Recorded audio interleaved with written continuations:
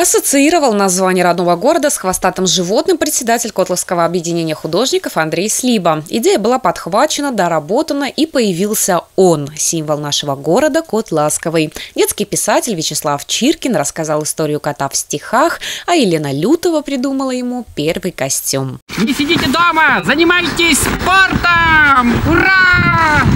Ура, ура, ура! Было 95 лет городу, вот, и художники решили сделать выставку о Котласе, картины, этюды написали про Котлас. И вот сделали такую афишу с котом.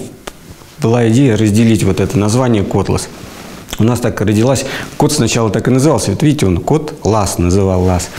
А потом уже, вот когда выставка уже работала, народ ходил, смотрел, и потом вот как-то коту уже Лас, это как бы такое сокращенное, и дали ему название Ласковый. Вот так вот и родилось. В декабре 2011 года собрание депутатов муниципального образования Котла своим решением утвердило название официального туристского символа Котласа «Кот ласковый». В 2020 году визуальный стиль логотипа «Кот ласковый» был обновлен. Привет и шлют из Котласа веселые коты. Кот ласковый, меня зовут. Хранитель города я тот.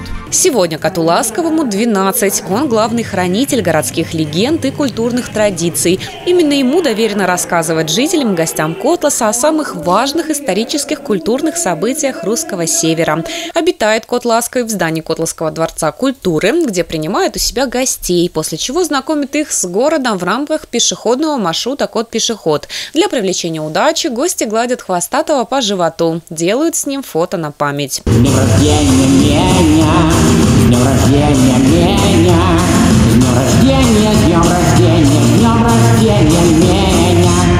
Году в рамках празднования Дня рождения символа года в Котласе прошел традиционный детский конкурс чтецов Катавасия и сказочное представление «Три желания кота ласкового».